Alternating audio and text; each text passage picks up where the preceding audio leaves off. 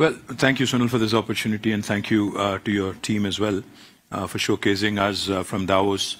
In fact, uh, this pandemic has literally shown, not just to us, but the entire world, how important healthcare is, how important the entire life sciences industry is. In fact, uh, uh, we don't thank them enough. The entire pharmaceutical industry, the entire vaccine industry, the biotech industry, how you know how value, how invaluable they are is something that came to the fore during the pandemic. So let me th thank, uh, for lack of uh, you know uh, uh, you know others on the podium, I think I should thank uh, Prasad and the entire pharma industry of India. And in fact, one of the most important hubs for pharma industry in India is Hyderabad. for those of you who do not know, Telangana, in fact, is not just an important hub in India, but in fact, it is an important life sciences hub in the world. And the reason why I say that is because since we're just coming out of the pandemic, let me remind each and every one of you who's watching that one third of human vaccines are actually produced from Hyderabad globally, not, not India. Mm. In fact, 9 billion doses are produced, 9 billion doses of vaccines are produced from Hyderabad, and that, make, that accounts nearly to one third of uh, global vaccine production. So we are the vaccine capital of the world, not, not India alone. And then let me also add quickly 40% of India's pharmaceutical production also happens from Hyderabad.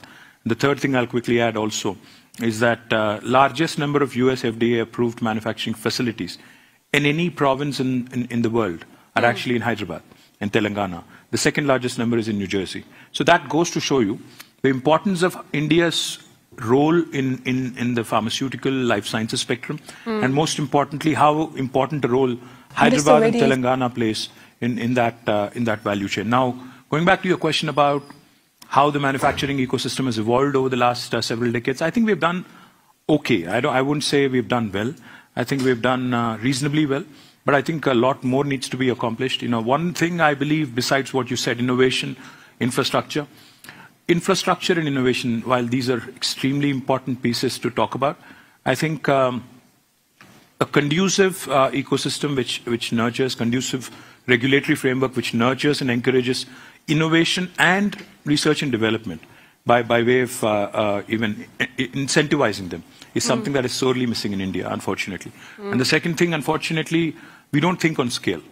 In fact, uh, if we have to compete with the best uh, manufacturing destinations, biggest manufacturing destinations across the world, we need to start thinking on scale. In fact, Hyderabad and Telangana, we are launching world's largest pharma cluster in about uh, 19,000 acres. I think that is when uh, it will become a project of international importance, not just national importance. So we need to think on scale. We need to hmm. have more uh, conducive uh, uh, um, um, governance towards innovation and uh, you know nurturing our talent. I think that is what is missing right now. We've done hmm. okay because I see we've done okay because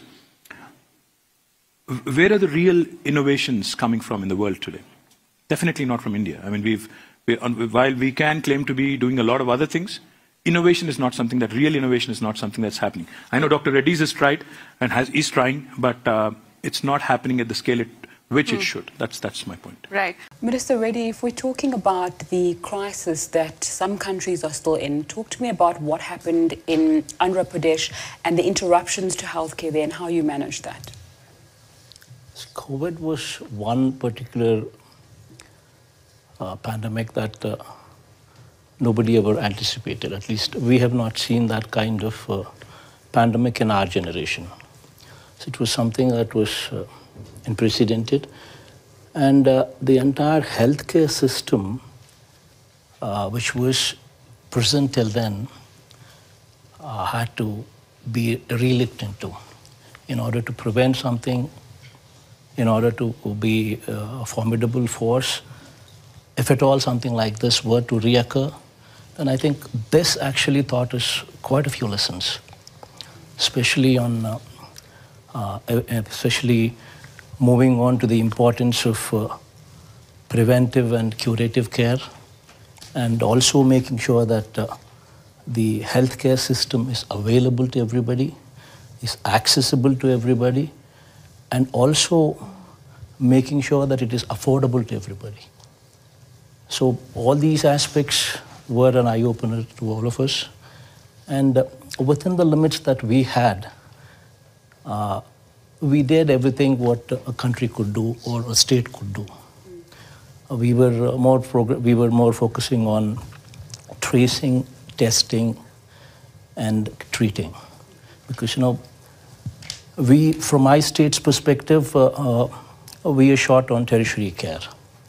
Because uh, mm, tertiary care, we were a newly formed state, and uh, we do not have a tier one city like uh, Hyderabad or Bangalore or Chennai where private investment uh, is huge coming into in super specialty hospitals. So, so since we had that handicap with us, so we wanted to get into the early stage, detecting at the early stage. So we conducted almost 44 rounds of house-to-house survey. We had a robust system in place uh, with the uh, village secretariat at every village, uh, a volunteer system for every 50 houses. Uh, we had 42,000 ASHA workers, uh, also the volunteers uh, dealing with health issues be present. And all this fact, all these factors put together, we, we initiated this process of house-to-house survey. And in this uh, uh, close to two years of uh, uh, uh, this uh, pandemic, we've conducted almost 44 rounds of house-to-house surveys. So that was one of the uh, primary reasons as to why we could cut, uh, why, we, why we could cut the mortality rate. Even though the country's mortality rate was 1.21%, our state's mortality rate was the lowest in the country, 0.63%. So that's one of the primary reasons.